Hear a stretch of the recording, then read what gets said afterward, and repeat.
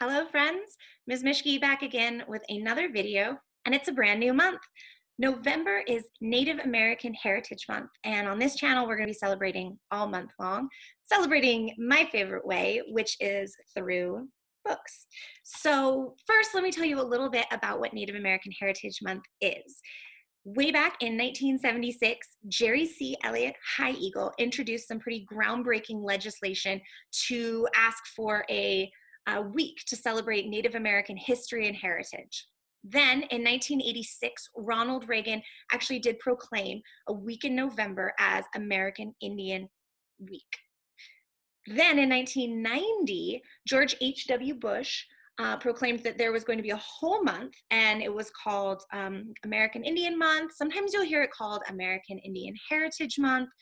It goes by a lot of names, but um, Native American Heritage Month is what we're going to say on this channel. Here are some quick do's and don'ts for celebrating. Please don't dress up as Indians and pilgrims and recreate the first Thanksgiving. That's culturally appropriative and not what we want to be seeing. Also, please try not to decenter Native voices. This means that you want to make sure that when you are reading books and um, spending money on resources to learn about Native American heritage, you are getting them from the source, from those authors, from those people. That brings me to the do's. Do read books like the one that we're going to be reading here. Um, do respect the belief systems. Native American culture is alive and well. In this day and age, this isn't something that just exists in history, though we're going to talk about a lot of history. Um, and uh, keep an open mind. So, what I want to do is share this amazing book with you. Uh, this is called Native Americans in History by Jimmy Beason. And uh, he's an amazing author. I'm just going to read you a little bit about him. He's a member of the Osage Nation of Oklahoma. He's from the Eagle Clan. And he has a bachelor's degree in Indigenous and American Indian Studies from Haskell Indian Nations University. He earned his master's degree in social work from the University of Kansas and he writes nonfiction, fiction, poetry, and essays about contemporary Native issues. Contemporary means the issues that Native Americans are facing right now. But he also wrote this beautiful book about Native Americans in history, a history book for kids. It's a must have for your library. I'll share a few stories with you over the next few weeks. Today, we are going to be talking about Jim Thorpe. He is from the Sauk and Fox tribes. Jim Thorpe has been described as the world's greatest athlete, and for good reason. He won gold medals in the pentathlon and decathlon in the 1912 Olympics while wearing shoes he found in a garbage can. Along with playing professional football and baseball, he was exceptional in other sports too. Jim was born in 1888 near Prague, Oklahoma, to Hiram and Charlotte Thorpe. His father was Sauk and Fox and half Irish, and his mother was citizen band Potawatomi, and French. When he was still a baby, he was named Wa-Tho-Huk, which means bright path. In the Sauk and Fox language, he was a member of the Sauk and Fox tribal nation. He grew up with his brothers and sisters on his father's farm, where he learned to hunt, shoot, ride, and tame horses and trap wild game. He had a twin brother named Charles, who unfortunately passed away from pneumonia when they were eight. His childhood was also disrupted when he was sent away to an Indian boarding school near Tecumseh, Oklahoma. The children there were forced to live with strangers who were usually hostile to Native culture. Jim ran away many times. He briefly attended the Haskell Institute in Lawrence, Kansas, then went to a public school after his mother's death in 1902. Jim's father died from blood poisoning after Jim moved to Pennsylvania to attend the Carlisle Indian Industrial School. With his parents gone, Jim did not return to Oklahoma. He attended Carlisle on and off from 1904 to 1913. As a teenager, nearing his 20s, he moved around and worked a lot. Originally an army barracks, Carlisle was turned into the first Indian boarding school under Captain Richard Henry Pratt. For three years, Jim lived and worked with white families as part of Carlisle's outing program. Instead of preparing Native youth to assimilate into US society, as Pratt had boasted, the program actually turned the children into a cheap source of labor. Carlisle is where Jim began to make a name for himself as a superb athlete. Shortly after leaving class one day, he jumped over a five foot nine high bar on the athletic field. Amazingly, he accomplished this feat wearing his overalls. Legendary coach Glenn Pop Warner saw this and informed Jim that he had just broken the school record for the high jump. Under Warner's guidance, Jim played 11 different sports for Carlisle. He especially excelled at football. Carlisle competed against nearby teams such as Harvard.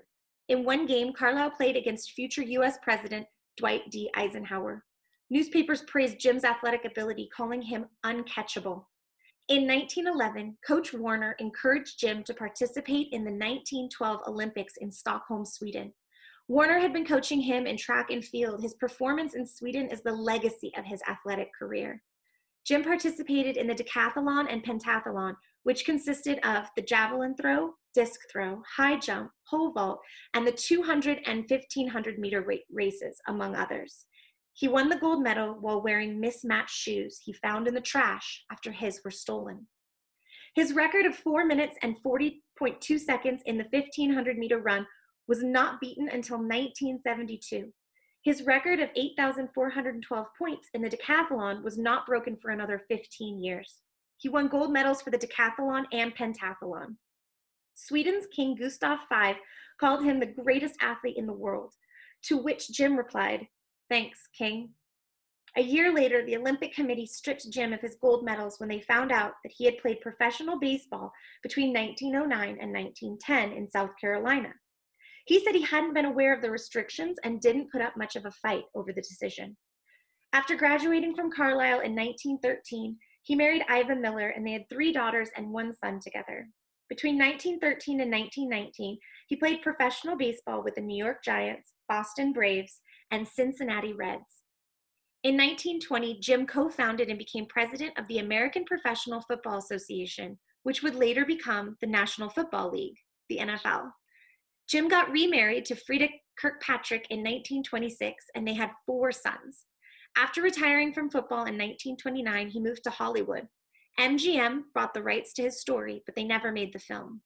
He moved back to Oklahoma in 1937 and got involved in Native issues, touring to give lectures on sports and Native culture. In 1945, he remarried for the third and final time to Patricia Askew. In 1951, Jim's life story was made into a film starring Burt Lancaster. Jim served as a technical advisor. He was paid generously for his contribution. When a poll was taken in 1950, 400 sports writers echoed the sentiments of King Gustav and named Jim the greatest male athlete of the first half of the 20th century.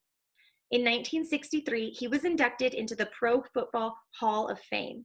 But toward the end of his life, Jim struggled to make money to care for his children and worked various jobs. He was a stuntman in films, dug trenches, worked in construction, and was a security guard. In 1951, he developed lip cancer. He never fought to get his gold medals reinstated, although he was famous and tried to make a living off that fame. He never liked the attention. Then, in 1953, at the age of 65, Jim passed away in Lomita, California. Despite his death, his legacy persists, and although the International Olympic Committee reinstated his gold medals, pro- providing his family with replicas in 1982, his 1912 Olympic record is still kept off the books. Regardless of what the Olympic Committee has to say about his official performance, there is still little doubt that generations of sports enthusiasts still view him as the greatest athlete that ever lived. So Jim shrugged it off when his Olympic medals were taken away. Do you think he did the right thing? Would you have done the same thing?